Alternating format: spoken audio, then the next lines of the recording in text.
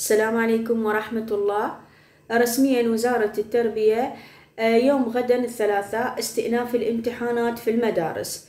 آه، لغاية الآن أمانة مجلس الوزراء لم تعطل الدوام الرسمي اليوم غدا الثلاثاء بسبب وجود العاصفة الترابية.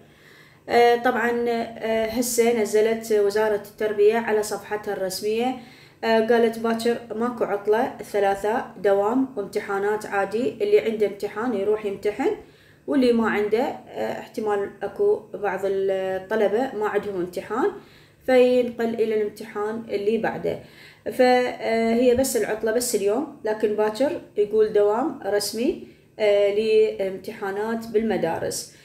وتأكيدا على كلامنا لما نزلت قبل هذا الفيديو قلت لكم باكر آه، دوام رسمي وأكو امتحانات.